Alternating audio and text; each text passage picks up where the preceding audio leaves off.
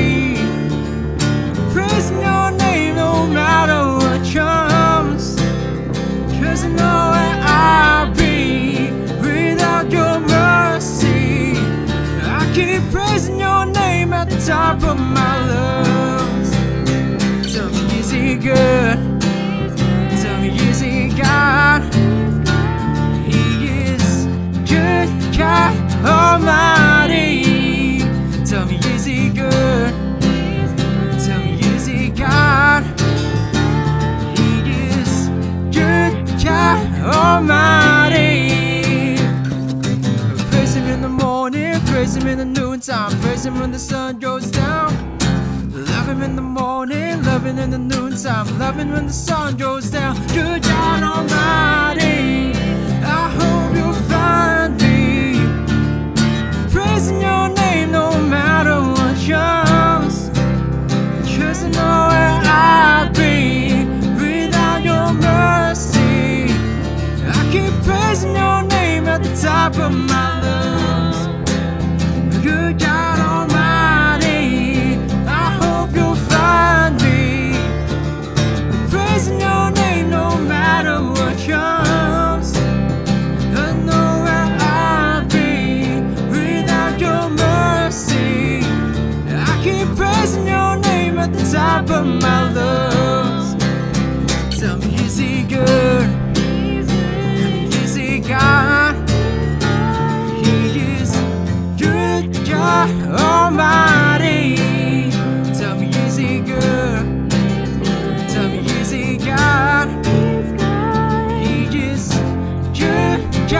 Almighty. Jesus in the morning, Jesus in the noontime, Jesus in the sun goes down. Jesus in the morning, Jesus in the noontime, Jesus when the sun goes down.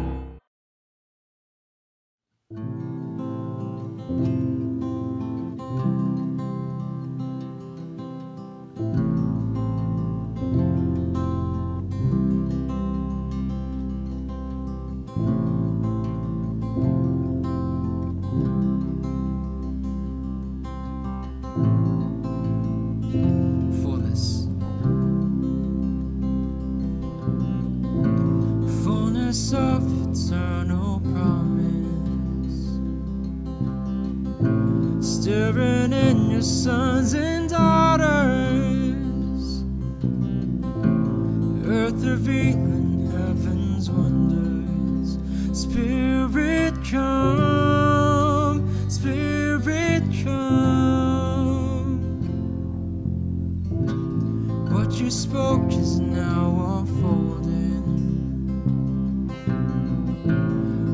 Your children shall be holding. Dreams awaken in this moment. Spirit come, Spirit come. Pour it out. Let your love run over here and now. Let your glory it out. Let your love run over here and now. Let your glory fill this house.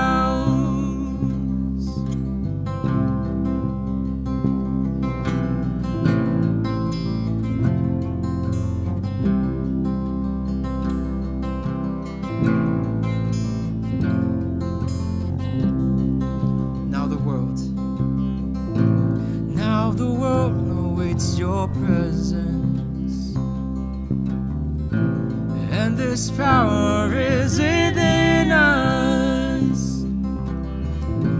We will rise to be your witness. Spirit come, Spirit come, pour it out. Let your love run over here and now. Let your glory fill this house. Pour it out. Let your love run over here and now. Let your glory fill this house.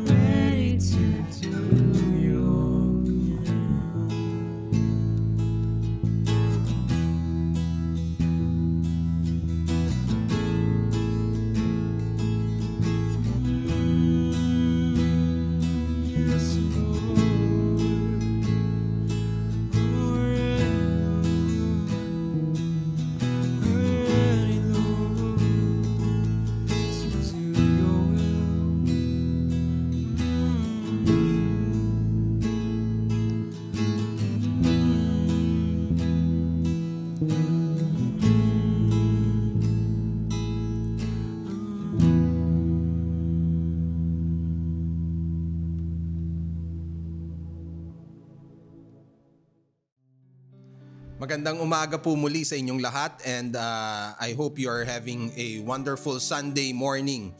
No? Uh, and today we will be continuing no on our series no entitled What We Believe. No? So malapit na rin po tayo no by the end of June matatapos na po natin tong series natin on what we believe. No? Ano po ba ang mga pinaniniwalaan natin no bilang mga Kristiyano? Okay? So our topic this morning is the sanctifying power of the Holy Spirit. Yan. So may uh, hopefully this morning and I pray no na maintindihan natin kung ano po bang ibig sabihin nung uh, nung sanctifying no nung pagiging sanctified no sa pamamagitan ng banal na espiritu. Okay? So join me in reading 1 Peter 1 verse 1 to 9. No, 1 Peter 1 verse 1 to 9. And it says there, to God's elect exiles scattered throughout the provinces of Pontus, Galatia, Cappadocia, Asia, and Bithynia, who have been chosen according to the foreknowledge of God the Father through the sanctifying work of the Spirit, to be obedient to Jesus Christ and sprinkled with His blood. Grace and peace be yours in abundance. Praise to God for a living hope. Praise be to God the Father and our uh, of our Lord Jesus Christ. In his great mercy he has given us new birth into a living hope through the resurrection of our Lord Jesus Christ from the dead and into the inheritance that can never that can never perish, spoil or fade. This inheritance is kept in heaven for you. Who through faith are shielded by God's power until the coming of the salvation that is ready to be revealed in the last time. In all this you greatly rejoice, though now for a little while you may have had to suffer grief in all kinds of trials. This have come so that your faith, of greater worth than gold, which perishes even though refined by fire, may be proved genuine and may result in praise, glory, and honor when Jesus Christ is revealed. Though you have not seen him, you love him. And even though you do not see him now, you believe in him and are filled with, his, with an inexpressible and glorious joy. For you are receiving the end result of your faith, the salvation of your souls. Tayo po'y manalangin. Hallelujah. Father, maraming salamat ah, sa salita na ibinigay niyo po sa amin sa umagang ito. Lord, ah, panalangin po namin na mabuksan po ang aming mga puso at isipan, Lord. Help us to understand uh, your message this morning. Panginoon, turuan niyo po kami uh, na maintindihan po namin, Lord God, itong salita ninyo, Lord God, about the sanctification by the power of the Holy Spirit. Help us to understand, Lord God, and help us, Lord, to apply it and be reminded always of what you want us to do. Lord, maraming salamat. Pinupuri ka namin at pinasasalamatan sa pangalan ni Jesus. Amen. As I was doing my research on this topic, no, nag nagsasaliksik ako no para mas maintindihan ko no kung ano yung kung ano ba talaga itong uh, itong sanctification of the Holy Spirit by the power of the Holy Spirit. I came across this testimony of a pastor, no. Meron siyang meron siyang isang testimonya and and uh, he was talking about no um his conversation no with with a with a friend, no, a long time friend na uh, na hindi niya na hindi niya nakita ng medyo matagal na panahon. No, um, but this story, no, uh, let me just tell you that this story is not not all that uncommon. No, ano siya? Um, maybe many of us uh, can relate no to this to this story. No? So let me just no uh, tell you this story no. Medyo maiksi lang naman po ito. No, uh, this pastor has a, a long time friend no who called him one night. No, tinawagan po siya sa nung ng isang gabi. Okay? Medyo matagal niya nang hindi nakikita itong kaibigan niyang ito pero uh, ano he, he would sometimes hear about him no na may nababalitaan siya tungkol dito sa sa kaibigan niyang ito. Uh, and somehow no nung gabing yon somehow he already knew what the call was about no parang alam na niya no nararamdaman na niya sa puso niya no sa isipan niya kung ano yung kung tungkol saan itong tawag na ito ng kanyang kaibigan. No he knew the problem that his friend was going through no? Yung problema na pinagdadaanan nitong kanyang kaibigan no? Nadidinig niya na.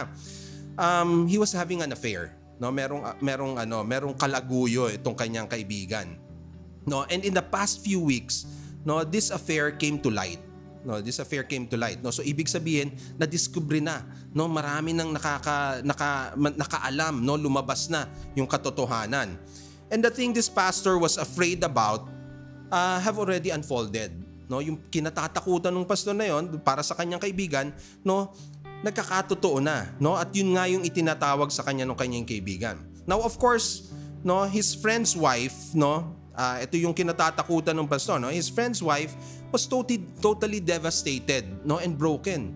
No? Of course, no, dahil nalaman niya na merong may, may kalaguyo yung kanyang asawa.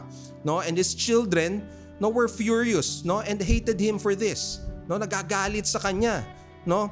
Uh, his once good reputation is now gone and to top it all off, no, because of this, he also lost his job.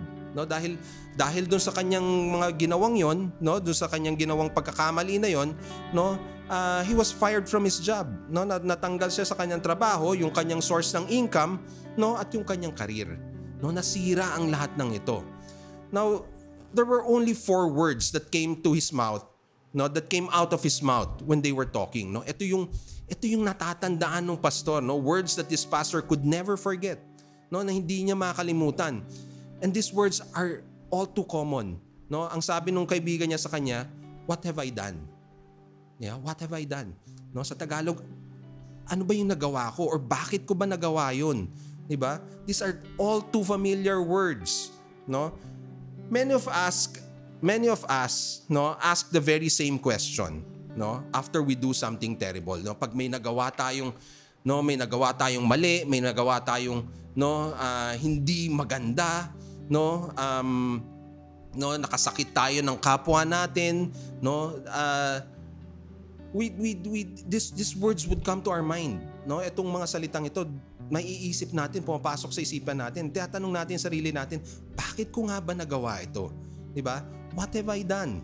No? Many of us no many of us ask this this very same question no?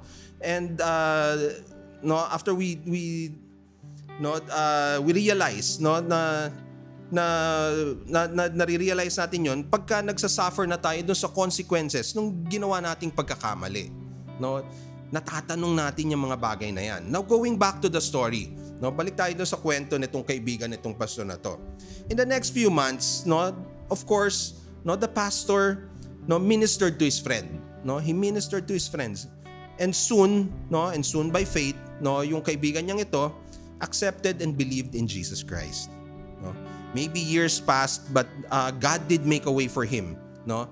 Uh, what did God do? No, he was able to regain his life. He was slowly able to regain even his family.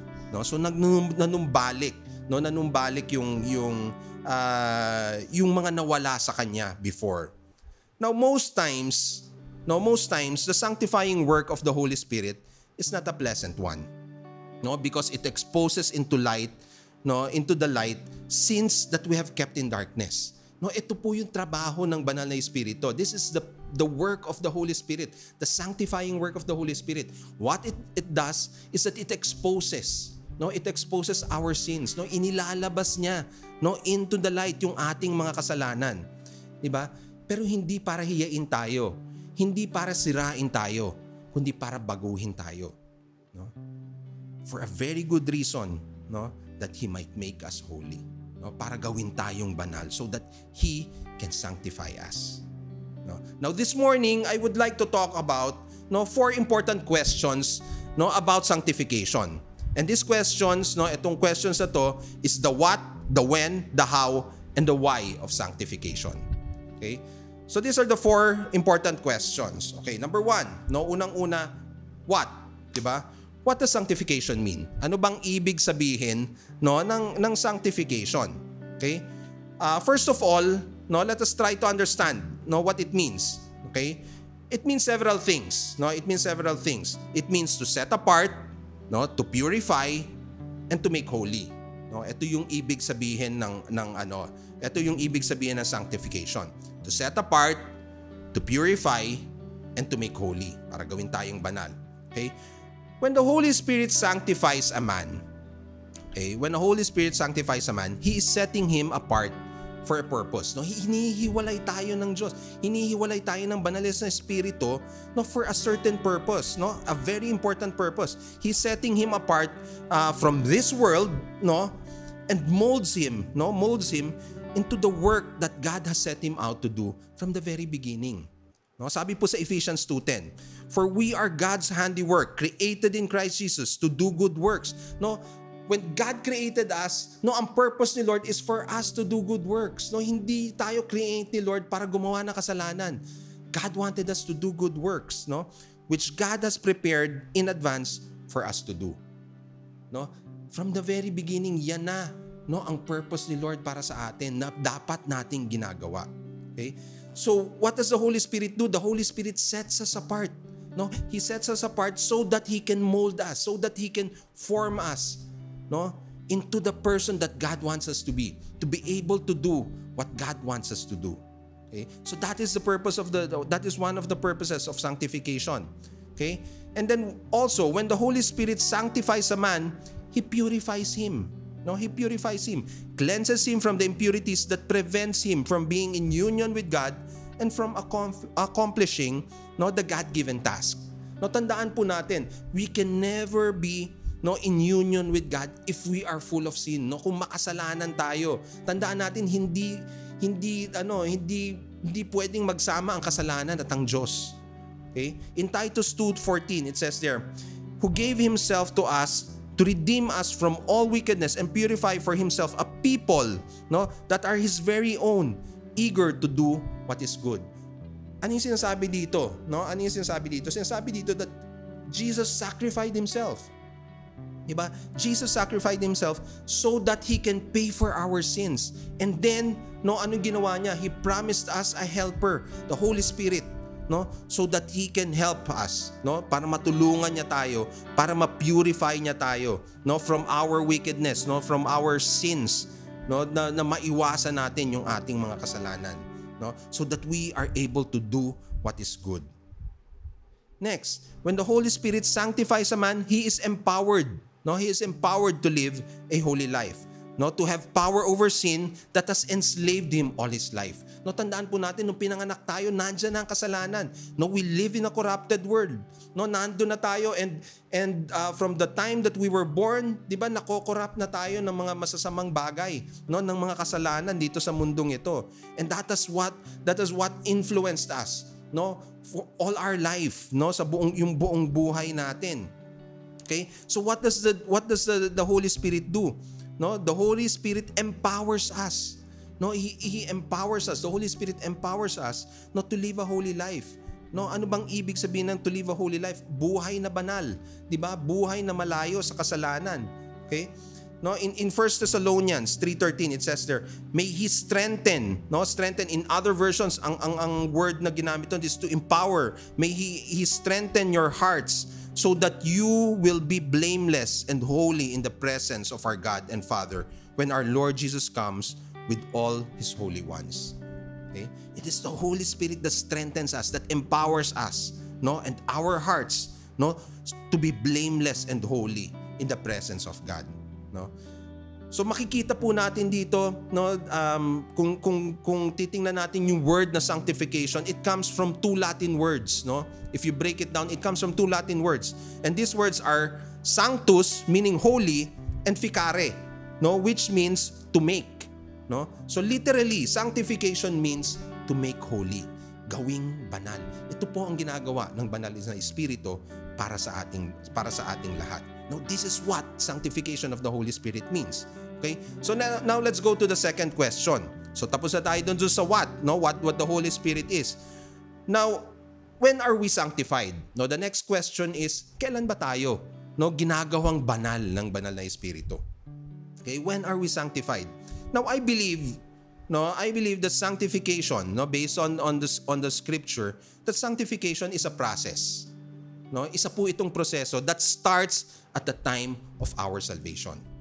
1 Thessalonians 2:13 says, But we ought always to thank God for you, brothers and sisters, loved by the Lord, because God chose you as first fruits to be saved through the sanctifying work of the Spirit and through belief in the truth. He called you to this uh, to this through our gospel, no, that you might share in the glory of our Lord Jesus Christ. So nagsisimula po yon no from the time that we have been saved, from the time that we believed in the Lord Jesus Christ. Nandoon na po yung simula ng sanctification.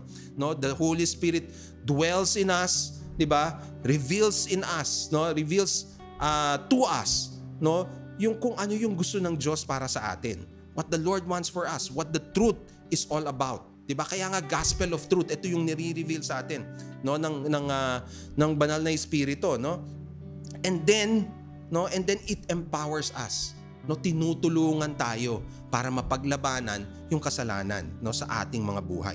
Yes, our Lord Jesus and uh, our Lord and Savior Jesus Christ paid for our sins, no? Binayaran niya yung ating mga kasalanan and thus redeemed us no from the penalty of death no, binayaran niya na para hindi na tayo 'di ba para hindi na hindi na natin kailangan pagbayaran pa yung kasalanan natin no at hindi na tayo mamamatay no but it does not no I, I mean spiritual death no but it does not mean that we cannot sin anymore. Hindi po ibig sabihin nun no na pag tinanggap natin ang Panginoong Hesus na niwala tayo sa kanyang sa kanyang ginawa para sa ating mga buhay para maligtas tayo, no it does not mean that we cannot sin anymore. 'Di ba nagkakasala pa rin tayo, no? Remember that we live in a corrupted world, no, and a corrupted body, no?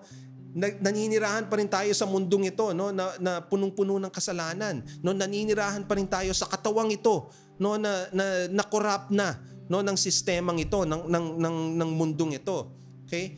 So what makes us think that we can, we are not capable of sinning anymore after we have received Jesus Christ no? Accepting Jesus as Lord and Savior and believing in his finished work has redeemed us from the penalty of death but no? But our corrupted body will need a helper. Nangangailangan pa rin tayo ng tulong for us to be able to overcome the hold of sin. No, tandaan natin, we are still slaves. No? Yung, yung, yung flesh natin are still slaves of sin. No? Uh, the, the hold of sin in our lives. No? so that we can live holy lives no para tayo makapamuhay ng banal no na, na, na pamumuhay no even Paul no has, has expressed this frustration no itong tong struggle na to. No in Romans 7 verse 15 no and then nag-skip ako to 18 and 19 no and this is what he said no ito yung sinabi ni Pablo. No I do not understand what I do for what I want to do I do not do but what I hate I do. No and then in verse 18 for I have the desire to do what is good but I cannot carry it out For I do not do the good I want to do, but the evil I do not want to do, this I keep on doing. No, so medyo nakakalito itong itong sinasabi nitong si Pablo, no? Medyo na medyo confusing. But this is Paul's struggle, no? Ito yung struggle niya in the flesh. 'Di ba? Sinasabi niya dito, yung gusto kong gawin hindi ko magawa. No? Pero yung yung mga bagay no? Because he was already no he has already given his his ano his spirit to the Lord di ba? Nag, nag ano na siya eh no? Na, nakilala niya na si Jesus tinanggap niya na ang ating Panginoon naniwala siya di ba? At pinaninindigan niya at gumagalaw siya no? He was working for the Lord already. But then no he was still struggling with sin. No there are still certain sins no na na na na, na ano niya na, na pinaglalabanan pa niya. No? So ito yung sinasabi niya dito. Uh, what I want to do, I do not do. But what I hate, I do. Ito yung, yung nagagawa pa rin niya. No? So sinasabi nga dito, For I have the desire to do what is good, but I cannot carry it out. For I do not do the good that I want to do, but the evil, no? I do not want to do this, I keep on doing. Diba? So he was talking about this particular no this, this particular uh, bandage no yung yung kasalanan na nagagawa niya.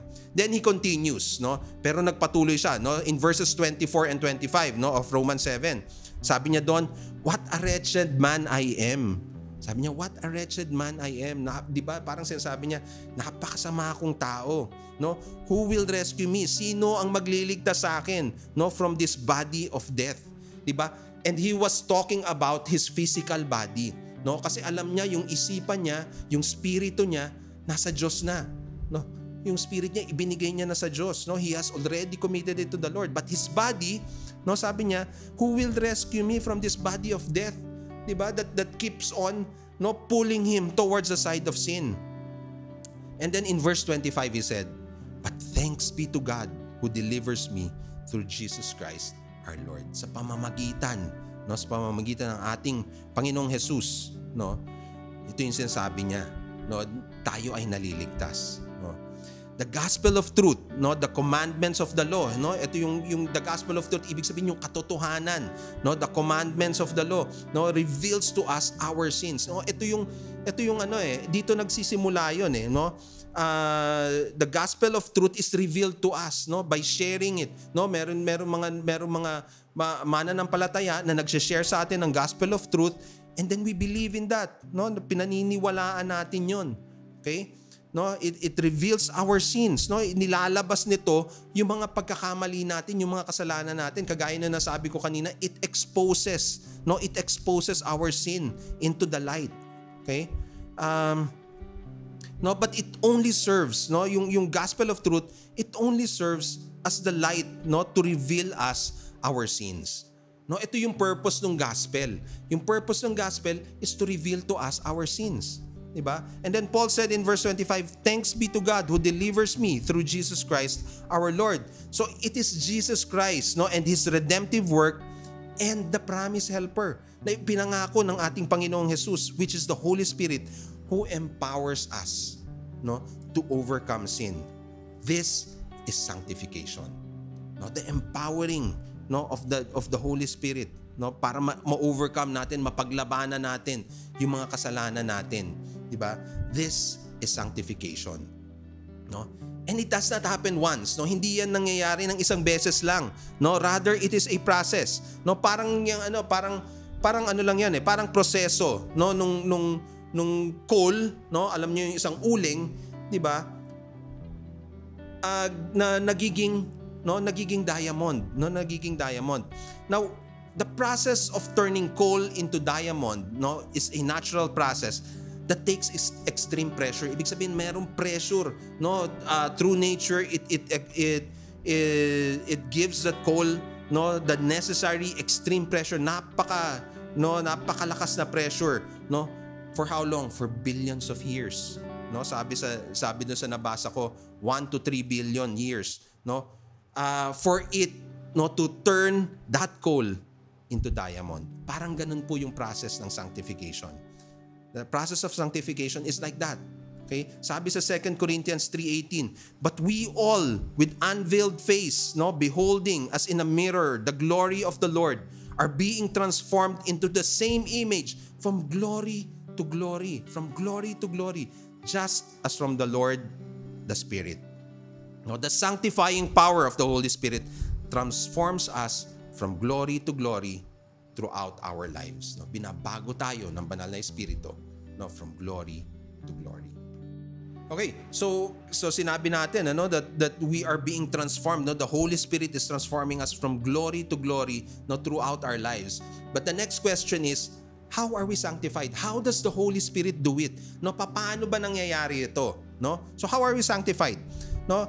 Uh, it starts with hearing no uh, from the hearing of the gospel of truth no nagsisimula yan no sa sa pag narinig na natin no yung gospel of truth as I have said earlier di ba merong mga ano merong mga merong mga mga mananampalataya na mananampalataya no nagse-share sa atin no nung gospel of truth or nadidinig natin no sa sa pamamagitan ng no sa pamamagitan ng radyo or sa pamamagitan ng TV or sa pagbabasa ng Biblia no we hear about the gospel of truth No? And in Romans 10:17, sabi dito, faith comes from hearing the message. no and the message is heard through the word about Christ no however no natin ma- madinig no or mabasa no yung yung gospel of truth yung mensahe ng ating Panginoong Jesus no this is way, where faith comes from. Dito nagsisimula ang pananampalataya. No? It is by faith that we believe. 'di ba? Sa pamamagitan ng ating pananampalataya naniniwala tayo no? Or or, or we we we believe what we read no? And and then faith no arises from us. No nagkakaroon tayo ng pananampalataya sa ating Panginoong Jesus no? And then in Romans 10:9 sabi doon if you declare with your mouth that Jesus is Lord and believe in your heart that God raised him from the dead you will be saved. No? At pag tayo nagkaroon ng pananampalataya no? At naniwala tayo sa kanya no? Then we will be saved no? When we declare that Jesus is Lord no? That he is our Lord that he is our savior that what he did on the cross is enough for us to be saved no? Para maligtas tayo then no we are truly saved no? Sabi niya by believing we are saved no? And with salvation no? With salvation comes sanctification. Sabi po sa Galatians 2:20 I've been crucified with Christ and I no longer live, no, but Christ lives in me. This is sanctification. When Christ lives in us, no, he puts his Holy Spirit in our hearts, no, we no longer live, no, our, our old lives, no, but the new life we start living. And this is the sanctified life. Ito yung ito yung buhay na patuloy na binabago ng ating Panginoon, no? The life I live in the body, I live by faith in the Son of God. Diba? Tandaan natin, so sabi niya, the life I live in the body, ibig sabihin, ito yung corrupted body natin. Diba? No? And we live it by faith in the Son of God. No? Ito yung binabago, ito yung sinasanctify no ng banal na espiritu, no? Yung body natin, no? Uh, who loved me and gave himself for me. Diba? Ito yung pagbabago na ginagawa sa atin ng ating Panginoon no ng banal na espiritu. We are sanctified through the indwelling of the Holy Spirit. No, it yun ng paraan para ano, yun yung paraan para ah, para maging banal tayo, no, para ma-sanctify tayo. We need the indwelling of the Holy Spirit no in our bodies who reminds us of the very words of our Lord Jesus and empowers us no? So ito yung ito yung ito yung work ng Holy Spirit no? It reminds us no what the Lord Jesus has told us no? What the gospel of truth no is all about no? And then it empowers us no? It empowers us. Tinutulungan tayo 'di ba na pa- mapaglabanan no? To overcome our sinful nature. Mapaglabanan yung yung body natin yung sinful body natin no? Yung sinful nature natin. 1 Thessalonians 4 2 to 7 it says there For you know what instructions we gave you by the authority of the Lord Jesus. It is God's will that you should be sanctified by the authority uh, uh, that you should be sanctified, that you should avoid sexual immorality, that each of you should learn to control your own body in a way that is holy and honorable, not in a passionate, just like the uh, not not in passionate lust, no, like the pagans, no, but uh, who do not know God uh, and that in this manner, in this matter, no one should wrong should wrong or take advantage of a brother or sister. The Lord will punish all those who commit such sins as we told you and want and warned you before. For God did not call us to be impure, but to live a holy life. No? So sabi dito, God did not call us to be impure, no? but to live a holy life. So it is the Holy Spirit that helps us. No, ito yung nagre-remind sa atin, no, na na na ito yung nagsa-sanctify sa atin so that we should not we we should be able to avoid so that we can avoid sexual immorality, so that we can avoid 'di ba um yung yung these are particular sins no na mini-mention dito ni ni, ni Paul ano uh, yung yung passionate lust no which which the pagans which pagans uh, uh, freely do no? Because they do not know God no? Uh, that you should not no do wrong or take advantage no of brothers and sisters no? Bakit? Kasi merong kaparusahan yan sa ating Panginoon no? So sabi dito ni Pablo God did not call us to be im- impure but called us all to live a holy life. The Holy Spirit whom Jesus promised to help us will empower us no to live holy lives. Okay? So in conclusion, no? In conclusion, I would like to answer the final question, no, yung last question dito, which is the why. Okay? Now, to answer the last question, Why then do we need to be sanctified? Bakit ba natin kailangan ma-sanctify? Why is it important? No, isn't salvation enough? Hindi ba sapat na yung salvation natin para uh, para mal- maligtas tayo para 'di ba uh, para mabuhay tayo dito sa mundong ito at uh, uh, um, makasama natin ang ating Panginoon? 'Di ba? In Romans 1 verse 1 to 2 it says there, to God's elect, no? And this is our this is our scripture reference, no? Yung scripture reference natin kanina na binasa ko.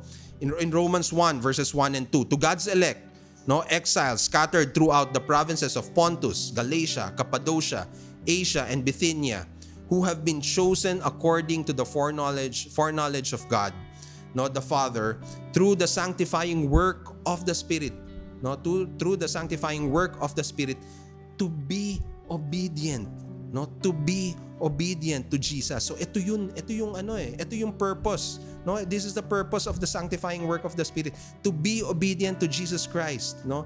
And sprinkled with his blood. No, grace and peace be yours in abundance. Praise to God for a living hope. 'Di ba? Meron tayong pag-asa because of the sanctifying work of the Holy Spirit. Though we sin, no, from time to time, no, nakilala na natin ang Diyos, sinanggap na natin ang ating Panginoong Jesus. And yet we seen from time to time, there is a living hope. Meron tayong pag-asa. Why? Because the Holy Spirit is empowering us and transforming us. Diba? Para makapamuhay tayo no, ng buhay na banal. Sanctification empowers us not just to overcome sin, no, not just to overcome sin, but to obey our Lord Jesus Christ no para masundan natin yung inuutos sa atin ng ating Panginoong Hesus. It empowers us to do good works no that God has set for us to do. No from the very beginning, no nung simulang-simula pa lang, God wanted us to do good. 'Di ba natatandaan niyo Adam and Eve when they were when they were when God created Adam and Eve, no there was no sin. Why? Because that was the purpose of the Lord for them to do good works. 'Di ba? Walang kasamaan, no? But then no they were they rebelled and they, they were corrupted no? By by the devil okay? So this is what the this is what the Lord does. It, it, this is what the Holy Spirit does no? It empowers us to do good works that God has set us no? Uh, to do from the very beginning. It empowers us to lead others to Christ di ba? Ito yung sinasabi natin no, no when, when somebody somebody shared with us no? The gospel of truth it is because that that the, the Holy Spirit is working in them also. No nag, nang, na, gumagalaw sa kanila so that they will do the work no that that that the Lord no has has set for them no in sharing the gospel of the Lord. Okay? So it empowers us to lead others also no? So pag tayo naman ang nakakilala sa Diyos no at uh, uh, at naligtas di ba? We have received the good news the gospel of truth di ba we share it with others that is our goal that is our purpose also di ba so that we can fulfill the great commission to make disciples of all nations, to baptize them in the name of the Father and of the Son and of the Holy Spirit, and to teach them. Teach them what? Teach them all things that Jesus Christ have taught us. Diba yung iniutos sa atin na nasa banal na, na nakasulatan. Okay? Sanctification empowers us to live holy lives in the midst of a corrupted world.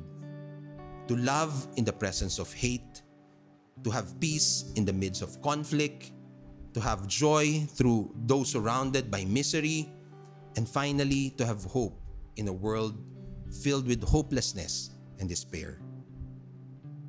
What do we need to do now? Ano bang kailangan natin gawin ngayon? First is we need to focus on the fact that God's desire is for us to be holy. Tandaan po natin, that is what the Lord wants for us. God wants us to be holy because it is only uh, it is only through sanctification, it is only through our holiness that we are able to be in union with God. Diba? Tandaan natin kung punong-puno tayo ng kasalanan, hindi natin pwedeng makasama ang Diyos. Diba? So we need to be holy and that is the, the that is what the Holy Spirit is doing in us. No? And then what do we do next? Let us open our lives, our hearts for the Holy Spirit to dwell in us 'di ba? Buksan natin yung ating mga puso, buksan natin yung ating buhay, buksan natin yung ating isipan and allow the Holy Spirit to dwell in us. Invite the Holy Spirit to dwell in us. No, and finally, no, when the Holy Spirit has dwelled in us, nandiyan na yung Holy Spirit, allow it. No? Allow the Holy Spirit to work in us and heal. Diba? Do not resist the Holy Spirit. No? Do not resist the Holy Spirit. Huwag nating no, i-resist yung Holy Spirit by not obeying it, by not listening no, to what it is telling us. Diba? That is the that is how that is what we need to do. Diba? So that no, the Holy Spirit can sanctify us. No, para mabago tayo so that it can set us apart no, and mold us and make us holy.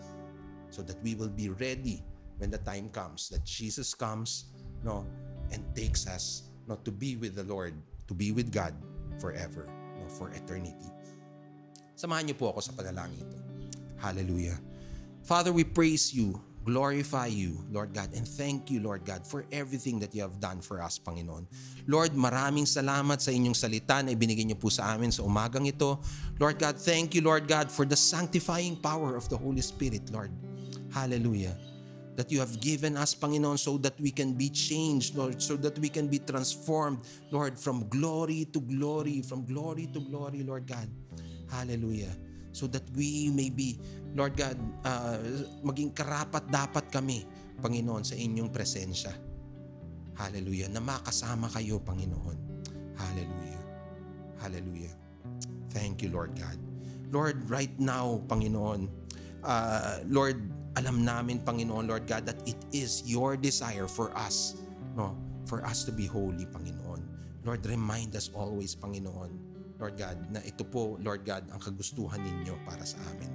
And so right now, Lord God, we open our lives to you. We open our hearts to you. We open our minds to you, Lord God. And we invite, Panginoon, your Holy Spirit to dwell in us, Lord God. To be with us, Lord God, every day of our lives, Panginoon. That we may always be reminded, Panginoon, of your words, Lord God.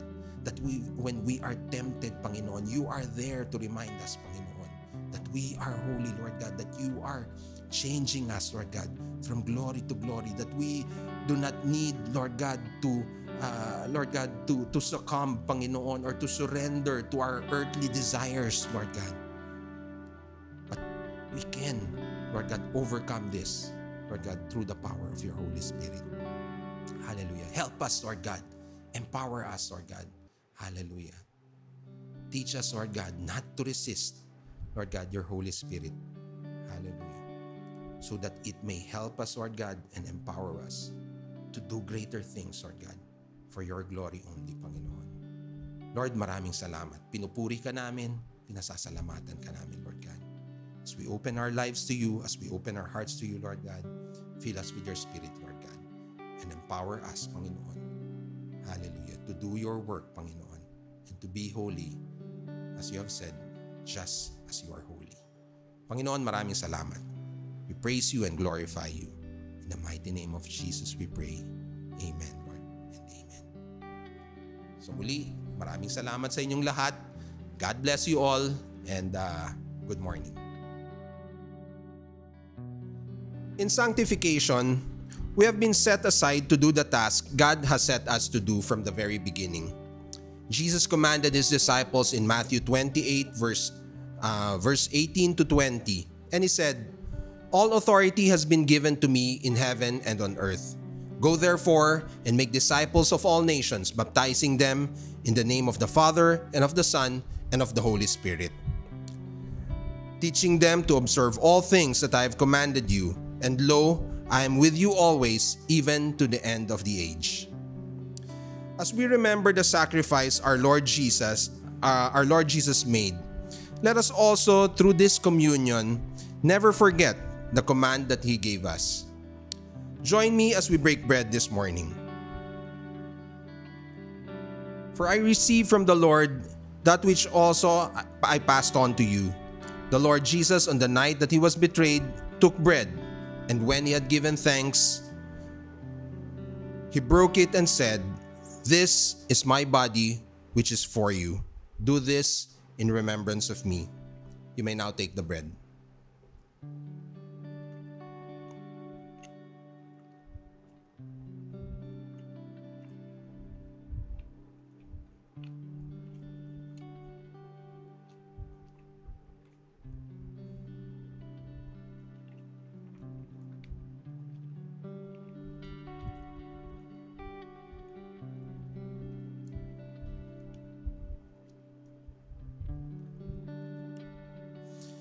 In the same way, after supper, he took the cup, saying, This cup is the new covenant in my blood.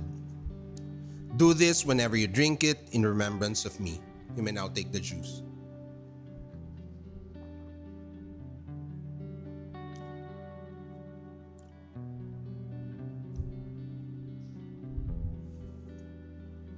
For whenever you eat this bread and drink this cup, you proclaim the Lord's glory, the Lord's death until he comes. Join me in prayer. Hallelujah. Lord Jesus, once again we thank you and praise you, Lord, for everything that you have done for us. We thank you, Lord God, that you have sacrificed your life, Lord God, that we may have ours. Lord God, remind us always, Lord, of your command for us to make disciples, to baptize, and to teach. Lord, empower us by your Holy Spirit. In Jesus' name we pray. Amen, Lord. And at this point, uh, we would not want you to miss the opportunity to continue worshiping the Lord through our giving. No, you may contact your local pastors, no, yung mga pastor po natin, pwede niyo po silang tawagan, pwede niyo po silang tanungin kung paano po tayo makakapagbigay. Or uh, pwede din po tayo mag-deposit directly sa ating HCF account or sa pamamagitan ng GCash na makikita po ninyo sa inyong mga screens ngayong, uh, ngayong umagang ito. And uh, if you have any comments or questions about uh, our topic this morning, no, tungkol po sa sanctification or any prayer request, no, meron meron kayong mga hiling na, na panalangin, please leave a comment on uh, on this post at HCF Online 2021. Or if it is a sensitive matter, no, you can send us a private message via Messenger. No, and we will try our best to respond to you as soon as possible. So muli, magandang umaga po sa inyong lahat and God bless you all.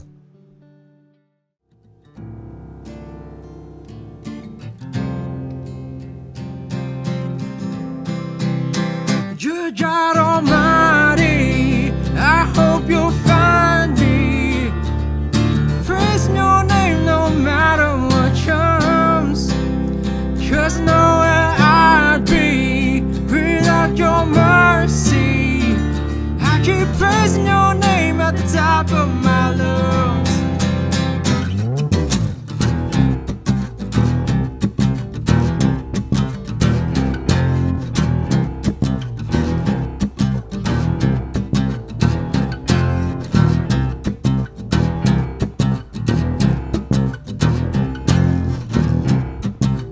I can count.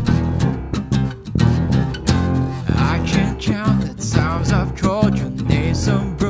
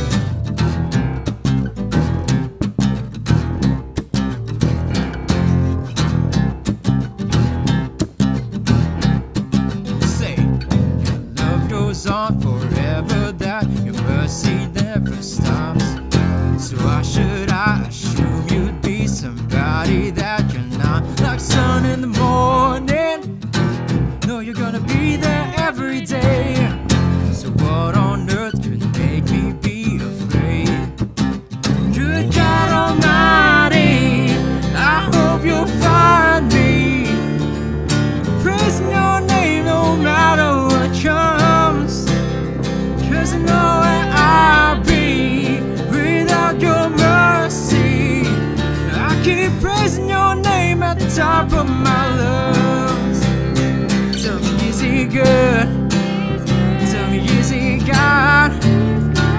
He is good, God Almighty. Tell me, is he good? Tell me, is he God? He is good, God Almighty. Praise him in the morning, praise him in the noontime, praise him when the sun goes down. Love him in the morning him in the noontime. Him when the sun goes down. Good God Almighty, I hope you'll find me. Praising your name no matter what comes. Cause I know where I'd be without your mercy. I keep praising your name at the top of my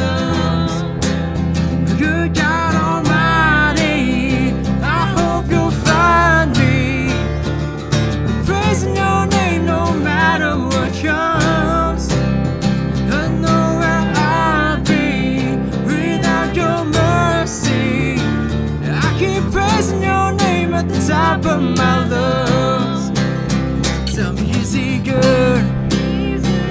Is he God? He is good, God Almighty. Tell me, is he good? Tell me, is he God? He is good, God Almighty. Jesus in the morning, Jesus in the noontime,